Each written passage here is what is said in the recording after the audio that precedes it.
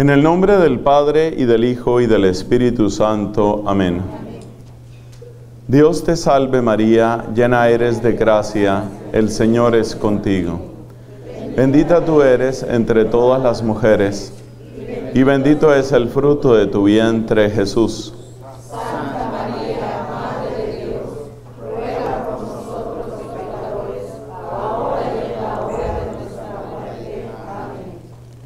En el nombre del Padre y del Hijo y del Espíritu Santo. Amén. Por favor, siéntense, hermanos queridos.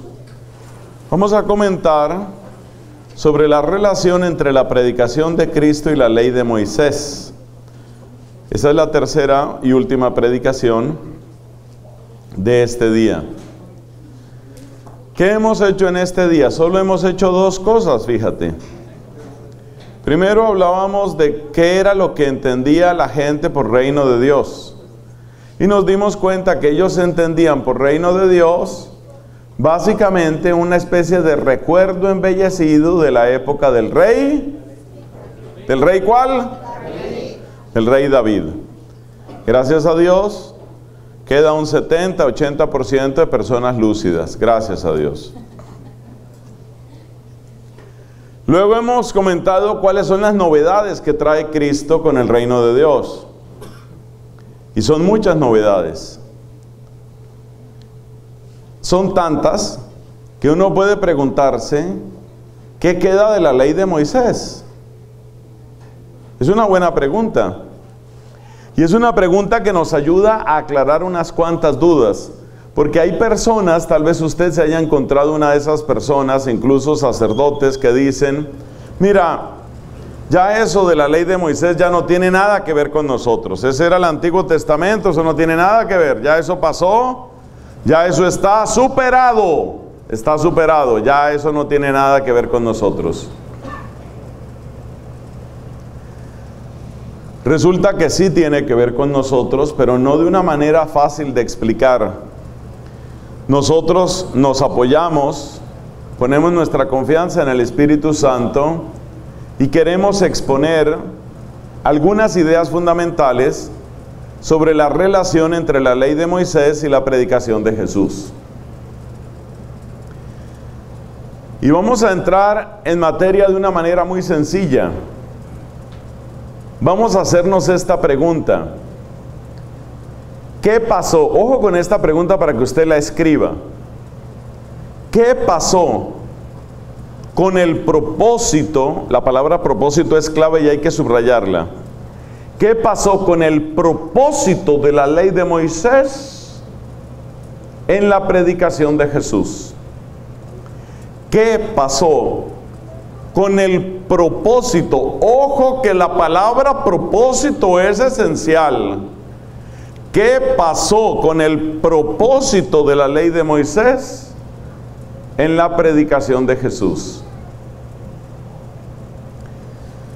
¿Por qué subrayo tanto la palabra propósito? Propósito significa que la meta, el objetivo, lo que quería la ley de Moisés. ¿Por qué lo subrayo tanto, mis hermanos? Porque precisamente el propósito de la ley de Moisés es lo que queda vivo y es lo que alcanza plenitud en la predicación de Cristo. O sea que la gran respuesta a nuestra pregunta es exactamente eso. Te lo voy a decir en una frase porque es bueno que tengamos la síntesis, es bueno que nos demos cuenta para dónde va este tema. La frase clave es la siguiente. Todo lo que quería la ley de Moisés, todo eso, es decir, el propósito, todo lo que quería la ley de Moisés es exactamente lo que se ha logrado con el ministerio y con el sacrificio de Cristo.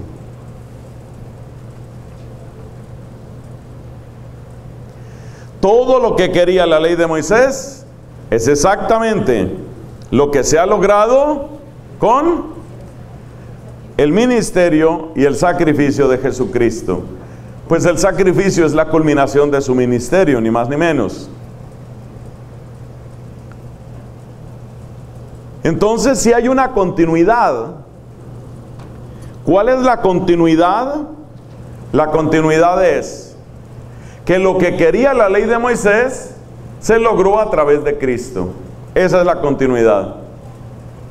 Pero se lo voy a decir de otra manera también.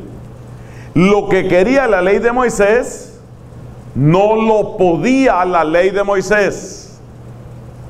Ojo con todo lo que están escribiendo. Dios bendiga a estos escribientes. Gente que escribe con agilidad. Algunos ya les tiembla el brazo acalambrado, pero siguen escribiendo. Les repito la frase. Lo que quería la ley de Moisés, no lo podía la ley de Moisés. Así como lo estás oyendo.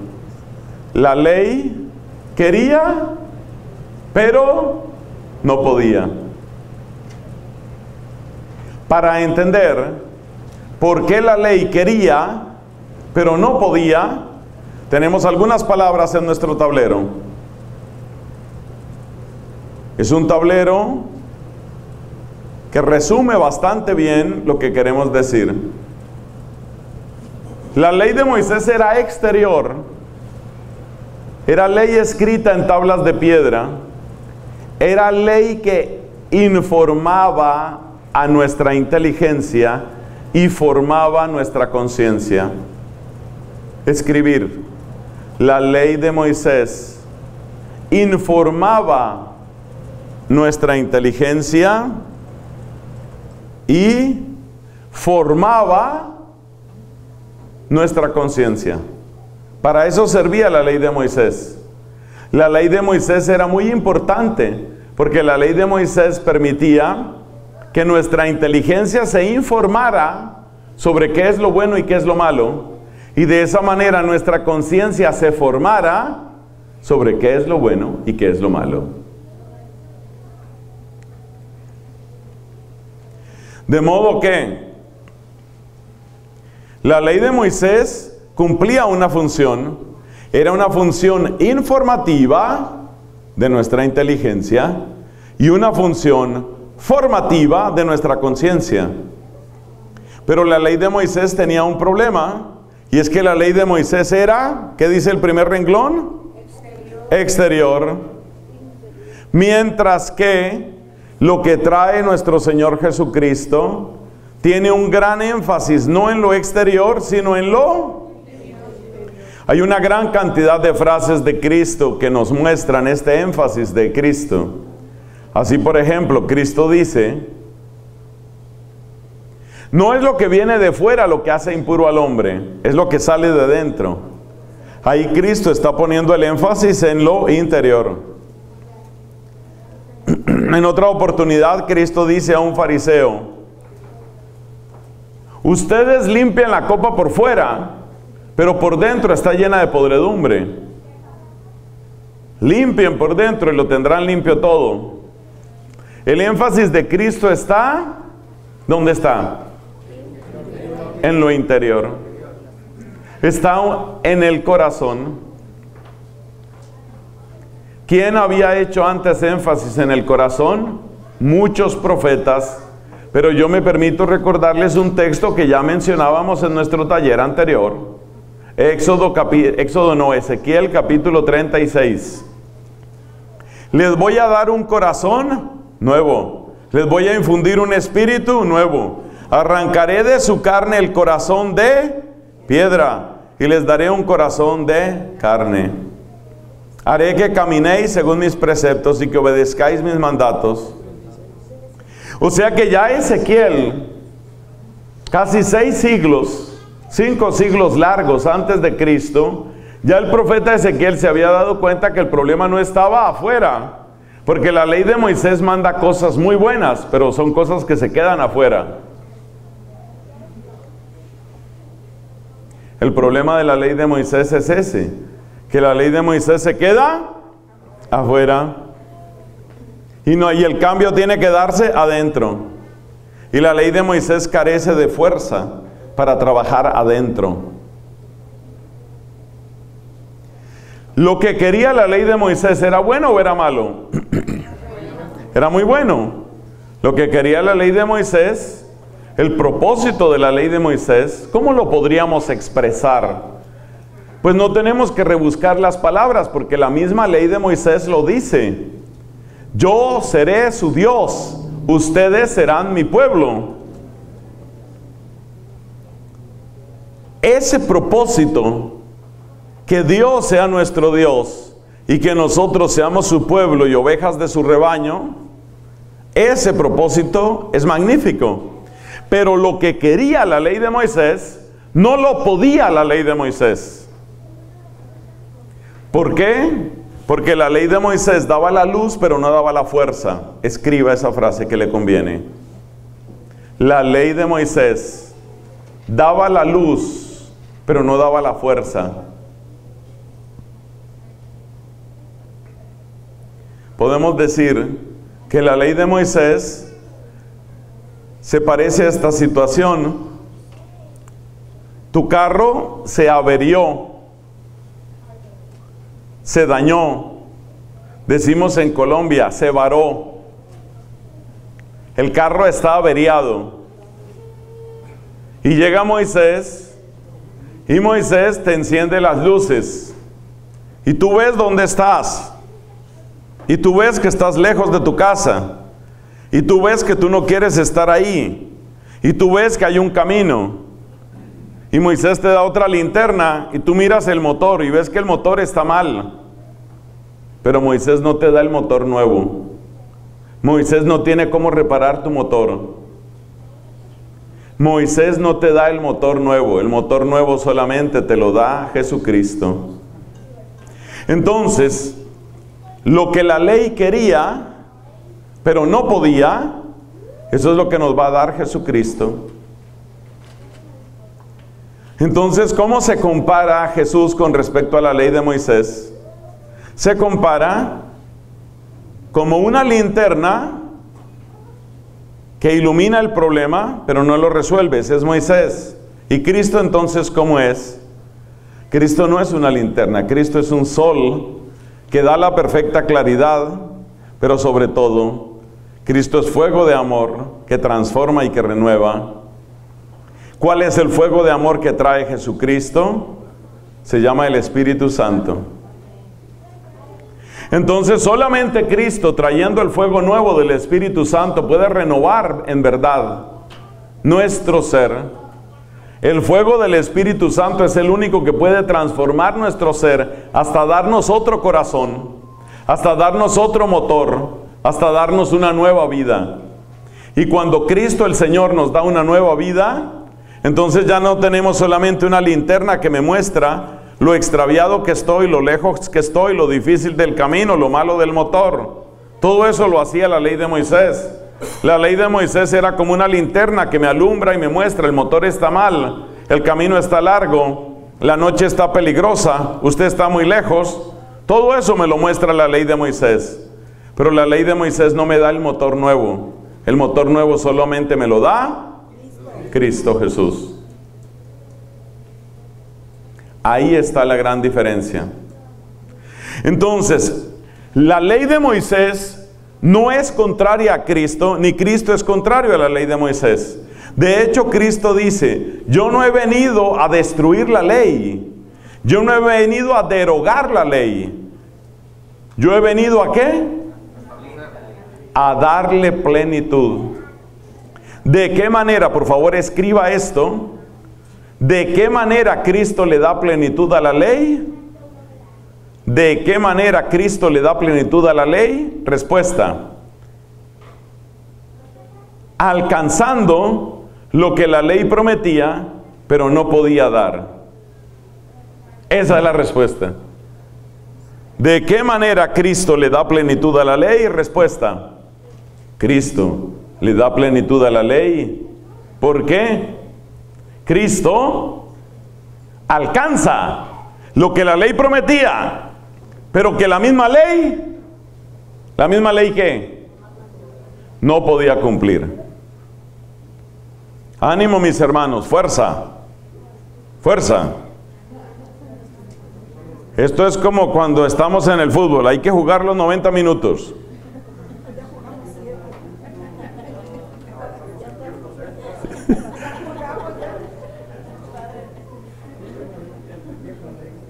Dicen que ya están jugando tiempo extra. que ya estamos. que ya estamos en los penaltis, dice él. Bueno, entonces dejemos quieto el fútbol y sigamos acá. La ley de Moisés prometía, anunciaba, quería, pero no daba la fuerza. ¿Ustedes se acuerdan que les conté que Josué no le creyó a la gente? ¿Se acuerdan que lo dijimos? Que Josué les preguntó dos veces, pueblo de Israel, van a obedecer los mandatos de Yahvé. Sí, sí, sí, sí, sí, sí. Van a servir a los dioses de Egipto, a los dioses de Canaán, o van a seguir a Yahvé. Seguiremos a Yahvé. ¿Están seguros? Sí, seguiremos a Yahvé. Respuesta de Josué, no les creo ni cinco. Bueno, la Biblia no dice esa expresión, la Biblia lo que dice es, quedan el cielo y la tierra y quedan estas piedras como testigos contra ustedes. Josué no les creyó. Pregunta, ¿Por qué Josué, que tenía tanta confianza en la sabiduría de la ley de Moisés, que había sido de hecho ayudante de Moisés, ¿por qué Josué no les creyó? Respuesta, porque en el fondo de su corazón Josué sabía que esa ley, aunque señalaba el camino correcto, esa ley no tenía la fuerza Es que el problema es ese, que esa ley no tenía la fuerza. No había fuerza en la ley de Moisés. No había fuerza suficiente en la ley de Moisés. Por eso Josué sabe, Josué sabe que ese carro no se va a mover.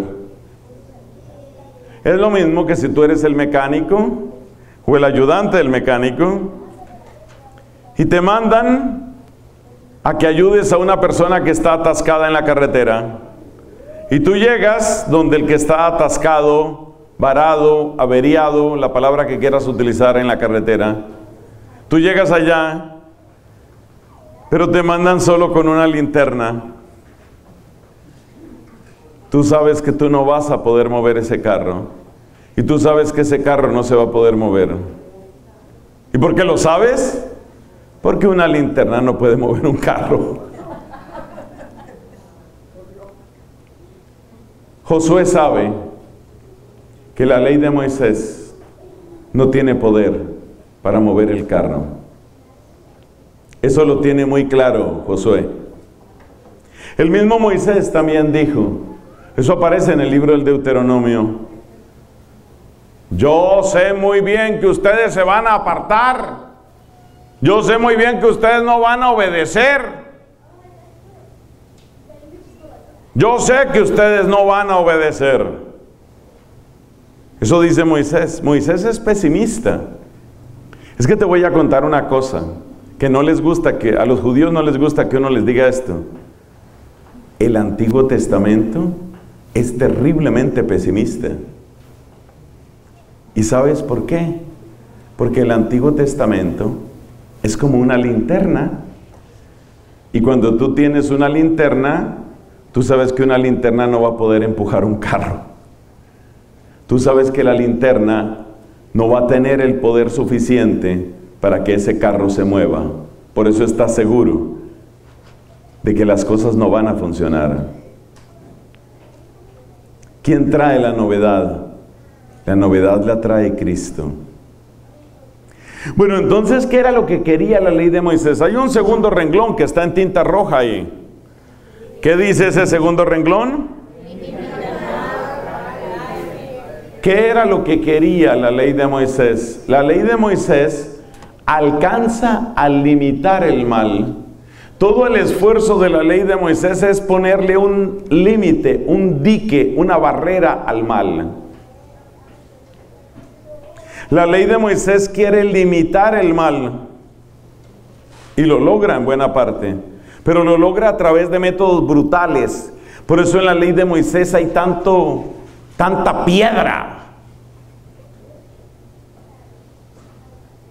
Y si hace tal cosa, lo matan a piedra. Y si hace esto otro, a piedra lo matan. Y si hace lo demás allá, lo matan a piedra. Y si es esto otro, a piedra lo matan. Y entre lo matan a piedra y a piedra lo matan, hay una cantidad de sentencias terribles en la ley de Moisés. Mucha gente se escandaliza y dice, pero ¿por qué había tantas penas tan terribles? El objetivo de esas penas tan terribles no era ejecutar esas penas. Se supone que tenía un efecto de frenar a la gente. Que la gente se frenara.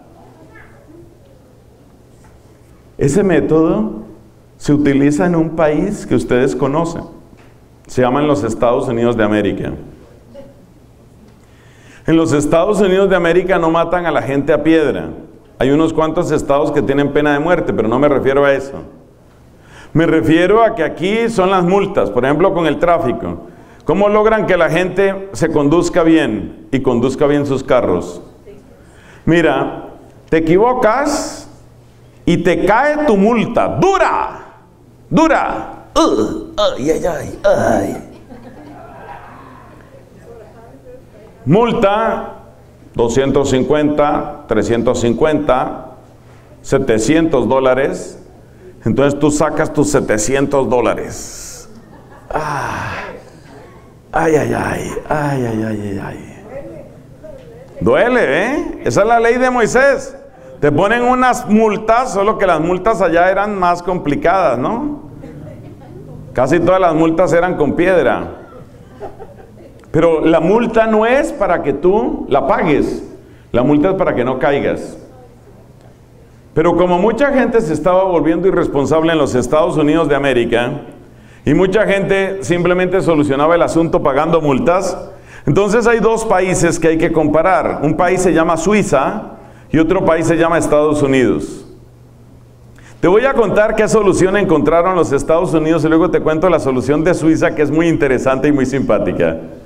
La solución de los Estados Unidos de América es que ya no solo te ponen multas, sino que además te ponen o te quitan, ¿cómo es? Los famosos puntos. ¿Cómo es el asunto? Yo como no he manejado aquí, yo no sé cómo es eso. Aquí cómo es, te quitan puntos, ¿no? ¿Te ponen puntos? Es? Los puntos significa que qué? Cuantos más puntos tengas, peor, ¿cierto? Entonces, ¿qué pasa? Que tú cometiste una infracción y vamos a suponer que tú tienes mucho dinero, porque al fin y al cabo, pues para tener dinero yo, ¿qué culpa tengo si me llega la plata? Yo no tengo ningún, ninguna culpa. Entonces tú pagas la multa y pagas la multa. Ah, sí, muy tranquilo pagando multas, entonces vamos a empezar con otro sistema. Y por eso desde hace muchos años los Estados Unidos de América tienen el famoso sistema de los puntos. ¿Y los puntos qué significa? Que ya vas perdiendo puntos. Mejor dicho, te van poniendo puntos. Y si tú llegas a un cierto límite de puntos, ¿qué es lo que te pasa? Te quitan tu licencia. Y te sube el seguro, más dinero. Esa es la ley de Moisés. La ley de Moisés funciona como los Estados Unidos de América. De hecho, los Estados Unidos de América, que tienen un trasfondo protestante y el trasfondo protestante tiene bastante herencia judía, es así. El mundo protestante tiene mucha herencia judía, pero muchísima. Entonces, la idea de la ley de Moisés es limitar el mal. Y para eso te ponen unas penas duras. Entonces, si ya tú pagaste 500 dólares de una multa y además te pusieron un punto, dos puntos, y después te ponen otra multa y te dicen, a la próxima infracción, si usted llega a cometer una infracción en los próximos 18 meses, usted pierde su licencia. De ahí en adelante, tú empiezas a manejar muy bien, pero muy bien. Y preferiblemente andas en triciclo.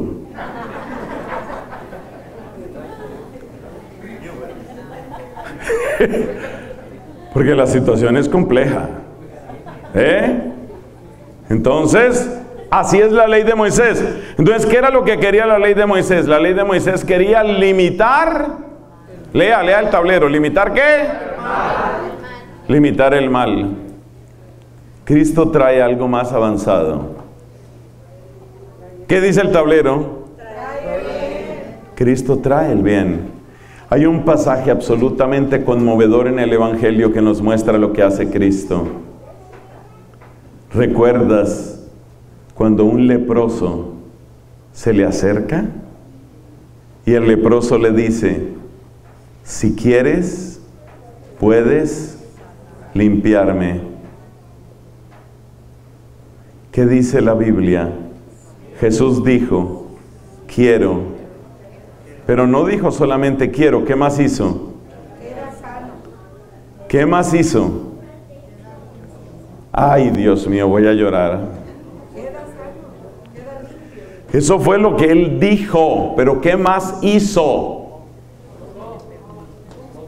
Lo tocó. La ley de Moisés prohibía que el leproso tocara al sano, porque el mal hay que limitarlo, pero aquí no fue que el leproso tocara a Cristo, sino que Cristo tocó al leproso. ¿Eso qué demuestra? La ley de Moisés, ponle mucho cuidado a esto, supera todo cansancio y distracción y ponle mucho cuidado a esto. La ley de Moisés quería que el leproso, perdón, prohibía, la ley de Moisés prohibía que el leproso tocara al sano por lógico temor de que la lepra pasara del enfermo al sano. Pero en Cristo hay tanta fuerza de bien que el sano toca al leproso y la sanidad del sano se le entra al leproso. No la lepra del leproso se le pasa al sano. ¿Me expliqué? Repito, en ese acto de Cristo, cuando Cristo toca al leproso, ese acto hay que tenerlo muy presente porque muestra muy bien el centro de nuestro tema. La ley de Moisés prohibía que el leproso tocara al sano. ¿Por qué? Porque el temor de Moisés es que la lepra del leproso se le va a pasar al sano, pero Cristo toca al leproso. Y ese es el verbo. Cristo toca al leproso. ¿Por qué? Porque la sanidad del sano se le va a pasar al leproso. Ese caso no lo consideraba Moisés. Oye esa frase, la sanidad del sano se le iba a pasar al leproso. La sanidad del que está sano. Cristo está tan sano en su cuerpo, en sus emociones, en su mente, en su conciencia, en su alma purísima, Cristo está tan sano que cuando Cristo toca al leproso, no es la lepra del leproso la que se le pasa al sano, sino la sanidad del sano la que se le pasa al leproso. Escriba eso por ahí en alguna parte, escríbalo rápido. Escríbalo rápido porque eso no se le puede olvidar a usted. No es la lepra del leproso la que se le pasa al sano, sino la sanidad del sano la que se le pasa, la que se le pasa al que estaba leproso. Esa es la maravilla de Jesucristo. Ese es nuestro Señor Jesucristo. Entonces, la ley de Moisés queda bien representada en la prohibición de que el leproso toque al sano, porque la ley de Moisés trata de limitar el mal, frenar el mal, parar el mal. En cambio, la ley nueva del amor del Espíritu que trae Cristo, ¿qué es lo que hace? trae el bien. Todo se reduce, como ustedes se están dando cuenta, todo se reduce a qué? Todo se reduce a que Cristo Jesús logra lo que quería, pero no podía Moisés. Jesucristo logra lo que la ley de Moisés quería, pero no podía. ¿Y por qué no podía? Porque en el fondo la ley de Moisés era una linterna y con una linterna es muy difícil mover un carro. Hay una tercera frase que aparece ahí. ¿Qué dice la tercera frase de su tablero? ¿Qué es lo que traía como fruto máximo? ¿Cuál era el fruto máximo de la ley de Moisés? Si uno lee de una manera superficial, bueno, que me perdonen un poco los judíos que oigan esto. Mira, si uno lee de una manera superficial, parece que la ley de Moisés lo que trae son torrentes de bendiciones. Parece, parece que la ley de Moisés trajera torrentes de bendiciones, parece. Porque efectivamente la ley de Moisés dice, mira, sé fiel al Señor y te van a venir todas las bendiciones. Prepárate para que sientas, porque te van a llegar todas las bendiciones. Vas a ser abundante en riquezas, seguridad. ¿Cómo era? Eran tres palabras, ¿no? Seguridad. Seguridad. Prosperidad y fecundidad, eso. No le puede olvidar nada. No se le puede olvidar nada. Ahora hace el favor, estudia toda la noche para que mañana traiga bien claro todo este tema. Entonces, si uno mira la ley de Moisés, la ley de Moisés trae una gran cantidad de promesas de bendición. Sé fiel al Señor y verás que vas a tener seguridad, vas a tener prosperidad, vas a tener fecundidad. La gente te va a tener que pedir prestado a ti. Tú vas a ser cabeza, no vas a ser cola. Así dice la Biblia. Tú vas a ser cabeza y no cola. Vas a estar seguro. No vas a tener enfermedades. Vas a vencer a tus enemigos. Vas a tener abundantes cosechas. Todo te va a salir bien. De una manera superficial uno podría pensar que la ley de Moisés es un torrente de bendiciones. Eso es lo que uno podría pensar. Pero, ¿qué pasa? Que ese torrente de bendiciones tiene términos y condiciones. ¿Tú no has visto esos avisos publicitarios que te prometen el cielo y la tierra? Y luego te ponen un pequeño asterisco y dice, aplican términos y condiciones. Entonces la ley de Moisés ofrecía bendiciones sobre bendiciones, abundancia sobre abundancia, paz, prosperidad, seguridad, fecundidad, felicidad. Pero había un asterisco. Y debajo por allá en letra chiquita decía, aplican términos y condiciones. ¿Y cuáles son los términos y condiciones de la ley de Moisés? ¿Cuáles son? ¿Cuáles son? ¿Cuáles son? ¿Cuáles son? Los términos y condiciones es, tienes que cumplir todo lo que aquí se dice. Si tú cumples lo que aquí se dice, te van a llegar bendiciones, pero hermano, no se imagina usted lo que se le viene encima. Mire, es que van a ser tantas bendiciones que quiere que le diga, quiere que le diga. Mire, usted va a estar repleto de bendiciones. Pero repleto, pero repleto, hermano, repleto de bendiciones. Pero aplican términos y condiciones.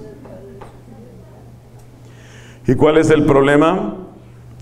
El problema es, ¿y quién es capaz de cumplir todo? Todo, todo.